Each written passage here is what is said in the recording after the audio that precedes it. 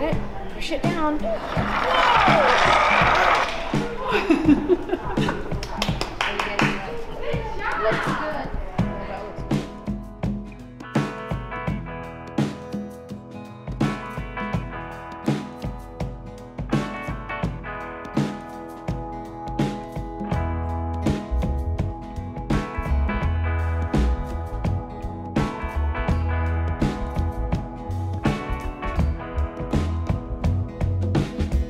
My name is Bob Buchanan. I'm the president of the City Woodworkers Association. We're putting on a woodworking show today. Uh, the name of our show is Anything Garden. So we have a bunch of displays here made by members uh, depicting that theme.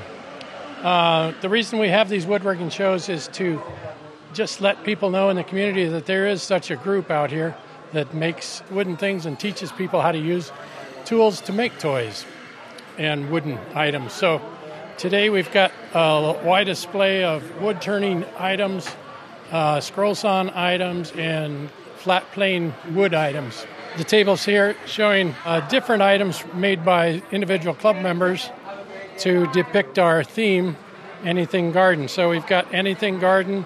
Gosh, I don't even know what you call that with all the frogs on it. We've got a mushroom bird feeder. We've got some butterfly displays and some some bird displays. Down here we've got garden tools. Welcome to the show and uh, enjoy yourself. My name is Rick Weisbeck, and I've been with the club since they started. And uh, mainly what we do is scroll saw work. This is one of my more complicated deals with the Ferris wheel. It's a lot of work. There's about 80 hours worth of work in this Ferris wheel. The things that I like to do is make wooden toys, and the moving toys are always fun to make. They're always a big hit. Uh, ever since I've made this one, he's come to every show. He's been a big hit with people around. With the cricket, they're always always very interesting, and the moving toys are, are a lot of fun to have. I made this for my wife last year. She saw it in a magazine and thought it was very nice. So this year she told me I had to bring it back. And everybody that looks at it really likes the vulture. Over on this side, we have more of my scroll saw work. Uh, patterns like this are always more interesting to make. This vase is made in four different pieces and then fit together.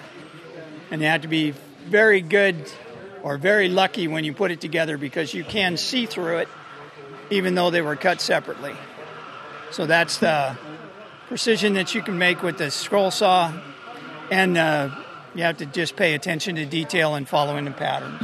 The Gatling gun has eight barrels. You can put up to 10 rubber bands per barrel. Normally on a demonstration, I only put about three rubber bands on it just for time constraints, plus the fact that when you get 10 rubber bands on there, it's really hard to turn the wheels. So in order to save my fingers and to save time, we load about three rubber bands on it. And no matter how many you put on it, it takes no time to get rid of them.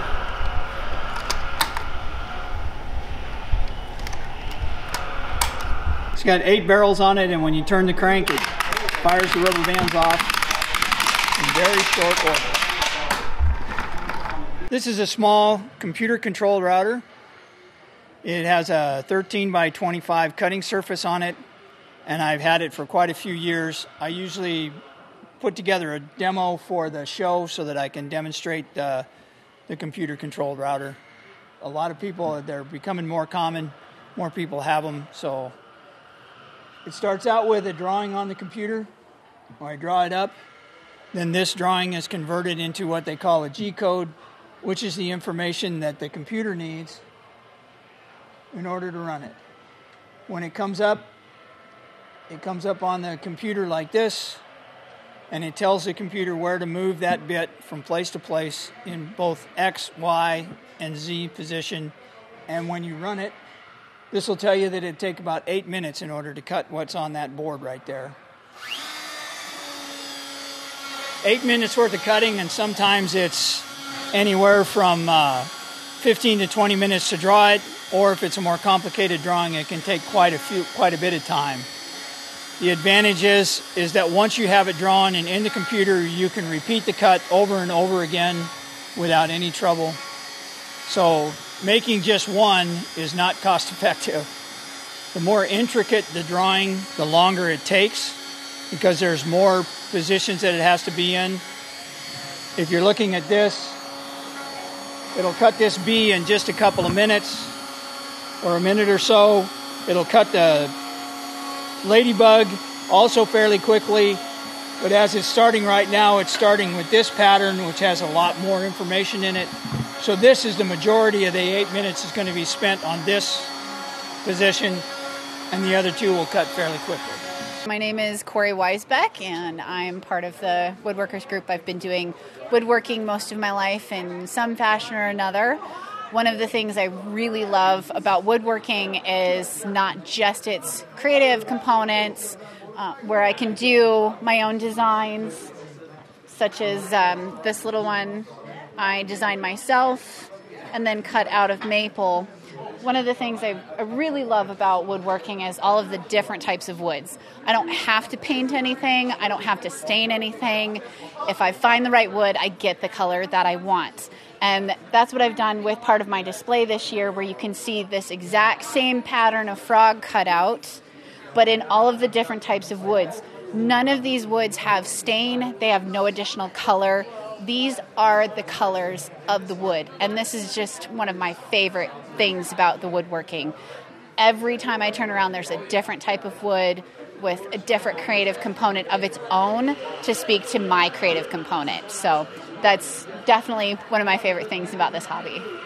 Hi, I'm Rex Briggs, and I, 35 years old, fell into wood turning and it has been a way of trying to maintain my sanity. Sometimes I win and sometimes I lose, but um, all these pieces are just times when I can lose myself in my shop, uh, work with some of what God gives us already created, and I just have a chance to repurpose it. So it's it's been an absolute pleasure to to have this hobby, and I'm, I'm really quite grateful that I can have it.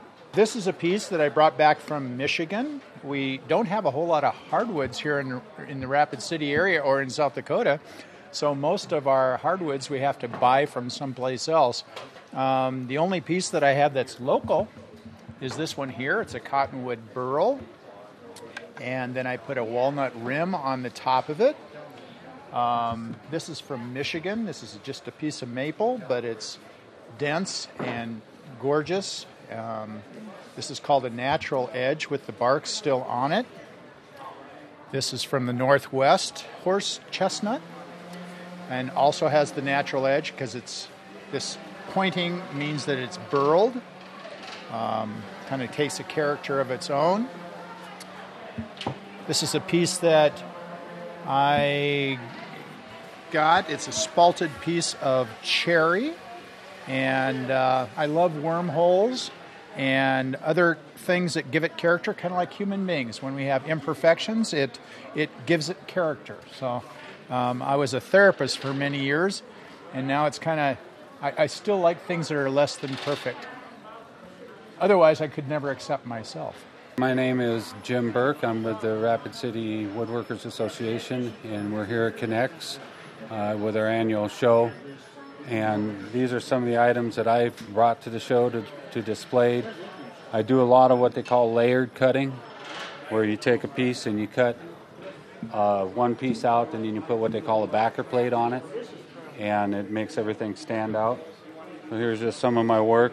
This is actually out of aspen um, from here in the Black Hills that I've shaved down to quarter inch thick and made the layered cuts with. Some other mediums I do is uh, this is actually four layers of plywood, and then uh, I've actually added some color to it just to make things stand out a little more. So this is one of my larger items. Um, it's made out of redwood, and then it's been sealed with an outdoor uh, waterproofing sealant. And what it is is right now it's it's made into a bench. You need to grab it and pull it out. then it folds out into a picnic table. So it's ideal for people that have smaller decks. Um, it doesn't take up a lot of room when it's made into the bench, and if you need the extra room, you can fold it out into the picnic table. I'm Patrick McGough, and I do work here in town. And this is all all this stuff is done on CNC that you're seeing here. It's done with a CNC router. And this is what it looks like when it comes out of the machine.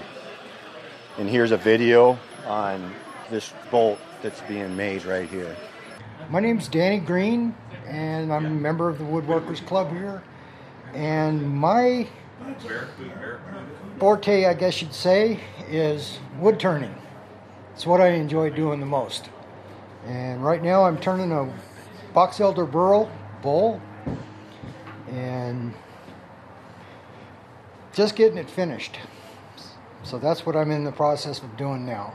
As far as the club goes, we've got a whole bunch of people in here that do all kinds of stuff. Uh, I actually have a special interest group that meets at my house for wood turning, and there's a dozen dozen guys or more that uh, all get together on a Saturday and spend a couple hours learning stuff from each other. This machine is a variable speed lathe, and with this chuck, I can turn spindles, I can turn bowls, I can turn platters up to 10 inches wide. And this is a small one. The, the ones that we use in the turning group, they are quite a bit larger. We can do 16 inch bowls, plates, that kind of stuff. Different styles of turning for everybody. I prefer turning bowls myself, vases.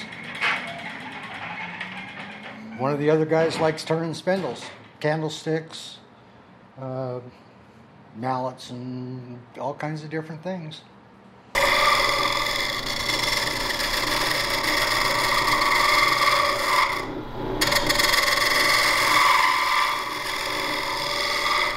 Hi, I'm Patsy Hood, a member of the Rapid City Woodworkers Association, and right now we are showing what we call a toy demonstration, toy building. The kids this year are building ladybugs. What we do every year is have uh, what we call a theme for our woodworking show, and this year it was anything garden. So if you look here, we've got ladybugs that they're coloring, and then we're going to put wheels on them so then they can take them home and play for them. And we also have a racetrack they can get together and race them down. But every year we do give many, many toys away here, and we also give them away at Christmas time. It's our thrill to do this for the kids. We really love them and love doing this, and the kids love getting them. you should see it. Put.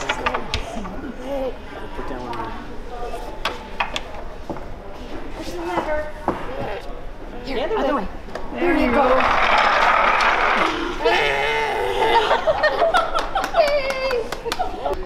Thank you for the woodworking. Yeah, we love it. It's awesome. My name is Raleigh Lind, and uh, I've been in the group uh, about 12 years or since the thing began. And uh, these are the kind of stuff that I do now, but as a kid, when I started out, I started out with a jackknife that I borrowed from my dad making things. And I just let it develop up until I make what I want to or what I can put in my head as a vision.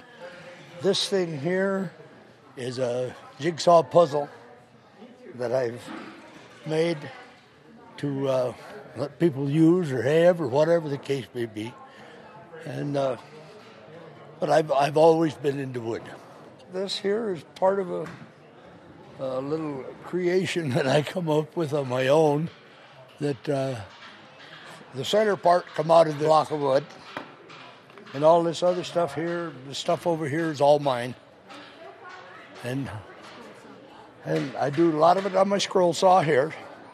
This one here, and that scroll saw over there is mine, and the band saw is mine. And I, I like to use the band saw on some stuff, but but my, my preference anymore, I give up working on furniture because it got too heavy, and uh, I work mostly with the scroll saw stuff now, and enjoy every minute of it. Enjoy the group, enjoy what we do. This. Uh, I put together, oh, four or five years ago, and I've guarded it with my life because it is very fragile. And uh, it's uh, something that I got out of a magazine. It was much smaller, so I used a photocopier to make it larger. And then I cut this out, and it uh, it's fragile no matter where I where I have it. I, and I, I enjoy it. But the time I spent on it, I have no idea. The time I spend on all my stuff, I don't have any idea because I just do it for the enjoyment. The pattern it tells you how thick a wood to use, and I just laid it down. And what what we do is take the piece of wood, and uh, we'll stick uh, painter's tape on it, T- tape all over it, and then we spray that with contact cement, and then we'll take a photocopy of this and stick it on the contact cement, and then we just cut out on the lines there, and it gets tricky, and uh, you get down some of these places like it gets the saw blade will move on you if you're not careful. So, uh, how much time I've got in it, I can't tell you because I don't. I don't do it for see if I can make any money out of it or anything. I do it because it's it's therapy for me. I'm Jeff Albrecht. I live in Brookings, South Dakota. Um, been turning wood after high school. Took a hiatus for 20 years and then got back into turning wood and been doing it the last probably 10 years. Um, great hobby, time consuming, but very rewarding. Um, some of the fun part is is where the wood comes from. Um, we got a piece of walnut that came out of Missouri. Uh, this one's out of that same log, um, rescued out of a firewood pile. The commercial cutters don't want the crotches and the, the Ys um, what, and that's where the pretty um, grain of the wood is. Um, some South Dakota wood would be something like these. Um, this one is cut out of this one. If you look real close, the grain lines up. Some old fence posts from Perkins County come off the, the prairie up there. These are my is a drunken bowl, they call it. You can use logs, um, segmented turning. You know, our favorite fishing spot's Michigan, and we picked up a piece of beech up there to turn. So that's pretty much where we're at. Um, like I said, a great hobby. Woodworkers are always willing to share techniques, wood, um, you name it, they share it, and it's a good good hobby to be in. Yeah, I'm Lon Ghost uh, from Rapid City here, and I'm an old tool collector. Uh, this is part of my old tool collection I brought up here. Uh, some interesting ones. I got a double claw hammer here that was used for old times when they used needed more leverage to pull a nail out. They had two claws, one uh, offset from the other, so they have more power. Here's another one that took me about three years to figure out what it was. And uh, for a farmers used it to notch pigs' noses so they wouldn't root in the ground quite so much. It's an idea, but it just never ever really took off. Uh, another tool we have here is one that we use for uh, the old Model A's when they had a, a rain gutter around the top of the car so rain wouldn't drive uh, fall down into the car. But they used to haul everything and they'd tie stuff on top of the car and it would smash them gutters down. And this car, they uh, machine, they'd go around with it and straighten them all back up again to keep the water on top of the car so it wouldn't run down on the door on them. Uh, here we have an old stair uh, saw. It only it only cut about a half inch deep when they made stairs to put the threads in. Uh, now, of course, they use all power tools for this stuff. This is two of my 14 uh, boards that I have at home. Uh, these are some of the more oddball tools I have. Uh, a lot of people were interested in seeing. They didn't know what they were. I do have some unusual ones. This happens to be a saw set. There's probably a hundred different kinds of them, and this is an oddball one that I'd never seen before that I got here just last year. My dad started collecting these oh, back in his 50s and 60s.